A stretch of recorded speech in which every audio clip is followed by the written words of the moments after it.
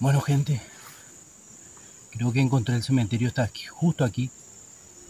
Lo pude encontrar porque está en un claro, pero está metido en el monte.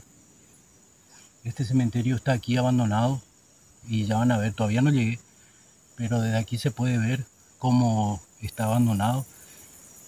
Y bueno, está su suerte aquí.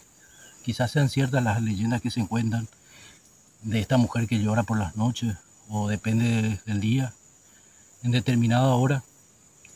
Así que vamos a ir hacia allá para conocer este cementerio abandonado y antiguo aquí en el monte.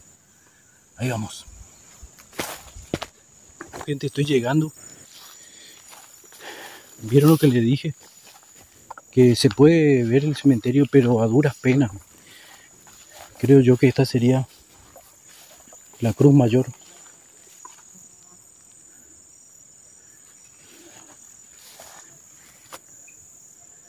Ahora, es un cementerio, parece familiar porque hay muy pocas tumbas. Así que con el debido respeto, vamos a entrar a, mirar.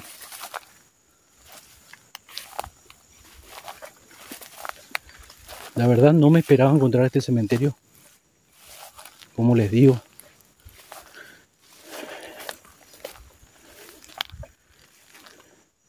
Aquí está el de una persona que falleció en el 90.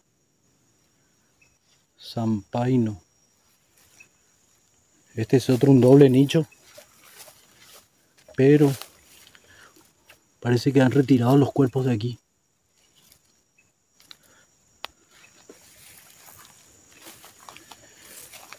Aquí hay otras dos tumbas.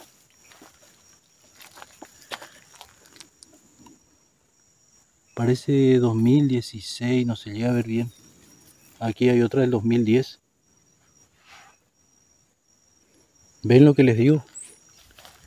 Este cementerio tiene la particularidad que tiene un alambrado, una cerca. Esta debería ser la, la entrada. Así que con permiso.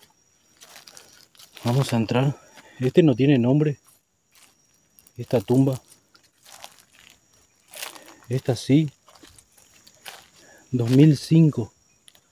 Domingo Cabrera. Y ahí aquí hay otra. Pero esta sí no dice. ¿De cuándo será, no?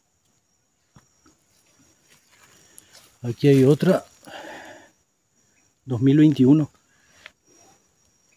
pero estoy viendo que afuera del perímetro hay también más tumbas.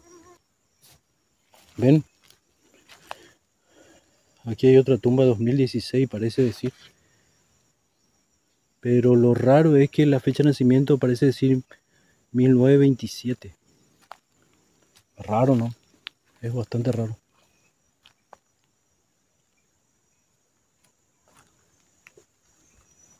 Como les digo, gente, no me esperaba encontrar con este cementerio.